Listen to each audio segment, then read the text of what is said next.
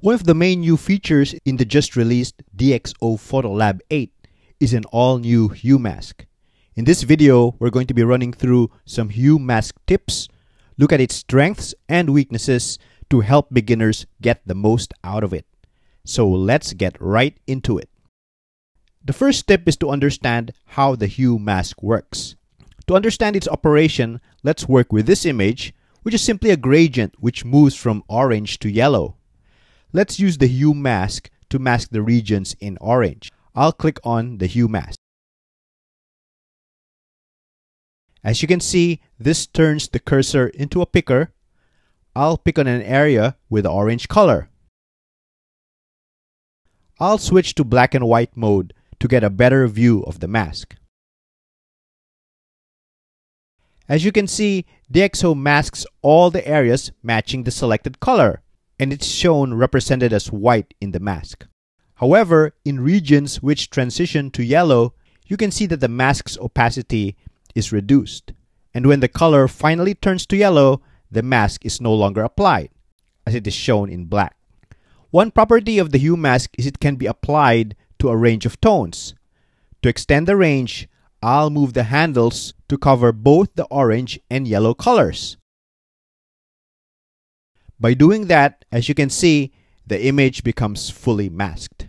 Let's look at another gradient which gradually darkens from orange to black. How will the hue mask work in this situation? Interestingly, DxO applies the mask pretty leniently.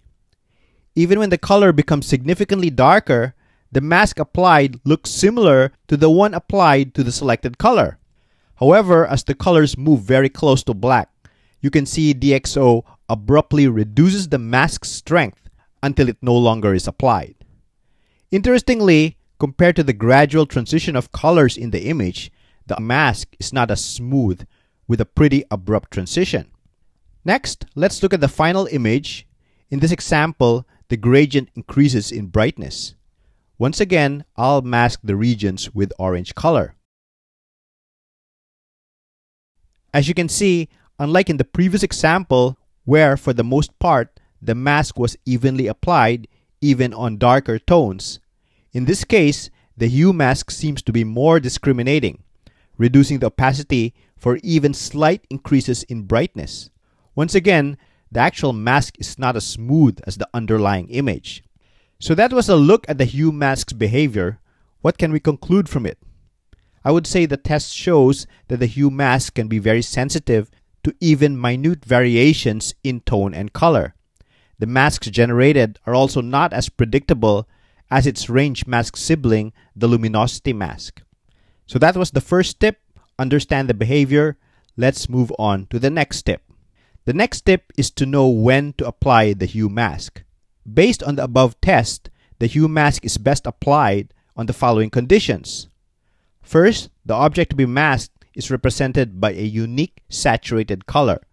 Do note that the hue mask does not work well with desaturated or even poorly saturated colors. Second, it is best to be used on objects where there is minimal variation in saturation and brightness, as these can easily cause errors, as shown in our demonstration. Here is an example of one such image. As you can see, the lady's dress is characterized by a unique color. Let's make it stand out.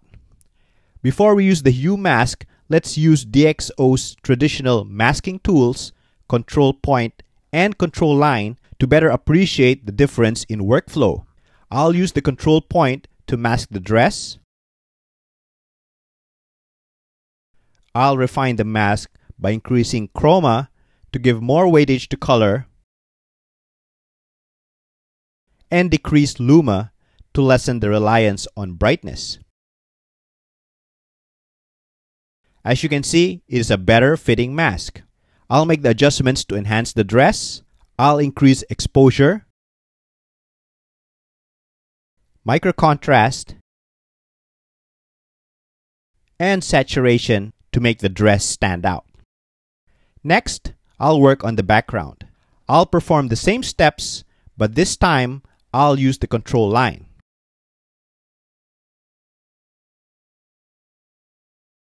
Once again, I'll adjust chroma and luma for a better fitting mask.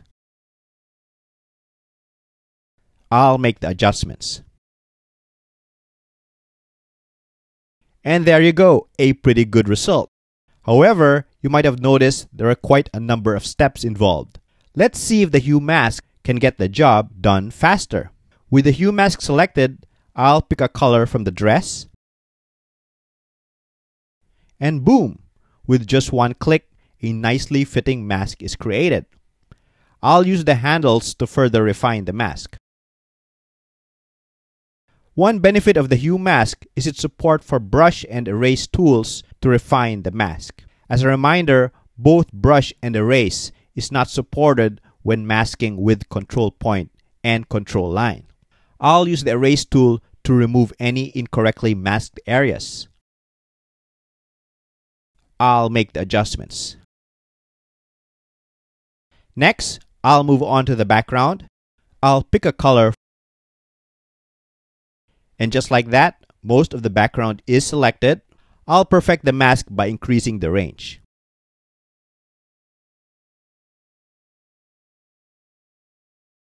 I'll make the adjustments.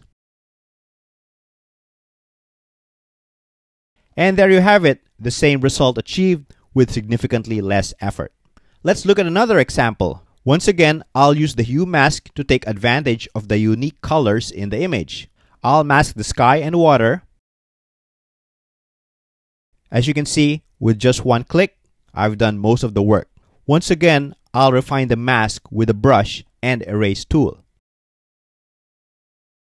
There, a nice looking mask. I'll decrease the exposure. I'll apply DxO's powerful clear view adjustment to make the selected regions pop. Next, I'll brighten the woman's skin.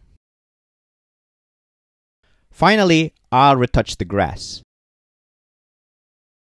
Unfortunately though, in this case, DxO is having difficulty masking the grass. And even as I expand the range, large swaths of the grass remain unselected. So that was the second tip. Let's move on to the third. The third tip is to be aware of disadvantages of the hue mask. While the previous examples show the power of hue mask, it's also best to be aware of some disadvantages to avoid unnecessary frustration in the use of this tool. The first disadvantage is the lack of accuracy. Looking at this image, intuitively we would conclude the skin is represented by a unique color. Let's use the hue mask to mask the skin. Unfortunately though, as you can see, the mask created is extremely rough with very harsh transitions between dark and light, even for small color variation. With such a result, it's best to try other masking alternatives. Here's another example. Once again, to human eyes, it is probable that we would perceive a large difference between the skin and, and the hair color. Let's again mask the skin with hue mask. And as you can see, the hue mask is unable to distinguish between the skin and the hair. The second disadvantage has to do with masking interoperability.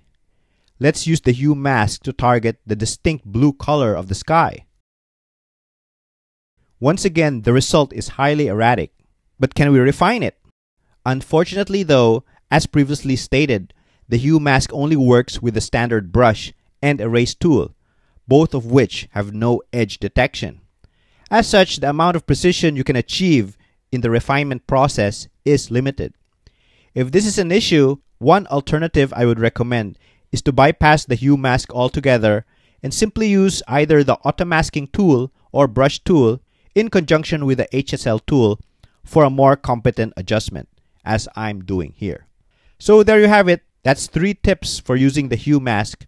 As you can see, while the hue mask is a solid addition to DxO's masking tools, it is important to be aware of its strengths and limitations in order to avoid unrealistic expectations and be able to maximize its use. So I hope you found this video helpful. Let me know what you think of DxO's Hue Mask. Are you going to be using it? And if you have any other Hue Mask tips, write it down in the comments. I'd love to hear from you. And if you like this content, don't forget to like, subscribe, and share to help keep the videos coming. Until the next video, I'm going to see you in the next one. Bye for now.